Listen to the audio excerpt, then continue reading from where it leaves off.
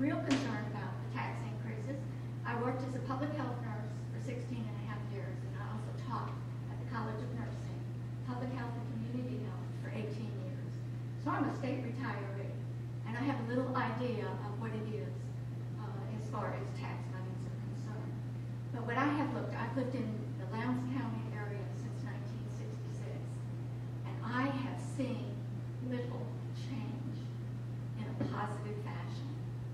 I look at our tax dollars increasing over the years, and I see our crime rate going up. I see the education of our children. Bless their hearts. We have really cheated some of our children on education. Our children try to go to college, they have to go through remedial courses. Something is wrong with other things than money. You cannot just throw money at problems. We've got to get to the base of it. And there are, we can look at our elected officials that come on the commission now, that can look at some really renovated ideas on trying to do this, not just with council, not just with government. Government's not the solution to our problems. Our people are. I'm absolutely horrified. You've got this huge building, this huge room, and nobody's here. And you want to blame the people? You know, Thomas Jefferson had a saying. Said, when the government, or when people are afraid of the government, it's tyranny. And I wonder if it's fear. Or they just don't care. I encourage people to come to this meeting. The comments were, they're going to do it anyway. It doesn't matter. And I'm real concerned about that. And this needs to be a little more friendly or whatever. But something needs to be renovated. I don't have all the answers, but I do know that we need approach to how we're spending our money. I also want to make a statement about, you know, back in 1966, 67, you come to a Board of Commissioners meeting, you came anywhere, we always prayed before our meetings.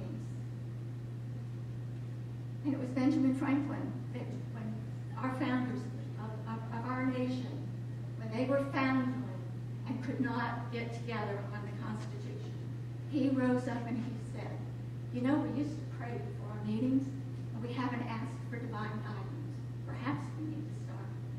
And I think without that guidance, we are not going to be successful. And with those comments, I'd like to say that.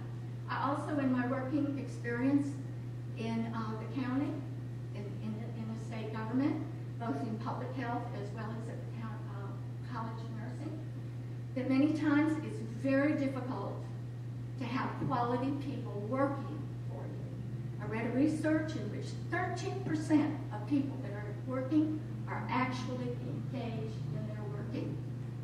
It horrified me. But these people are there, and they seem to be working, but they're not really putting their heart into it. And I think this is something that we need to do. We need to trim government, not grow it. Smaller and better.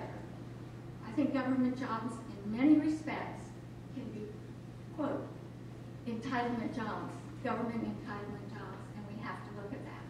I can tell you from experience that you can go through a long process of getting rid of people that do not do their job or have done incompetent things.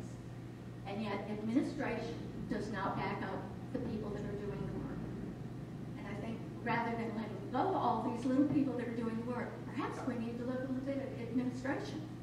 I'm concerned about our county. I hate the crime rate that's going up. Money is not going to do it all. We need to look at this from a lot of perspectives.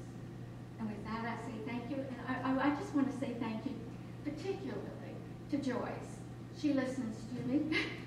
and not only that, but she has uh, served on our board of the Partnership for Health Clinic, which was, has been an initiative that uh, I worked with from the beginning to help improve the quality of life for the uh, people in Lowndes County.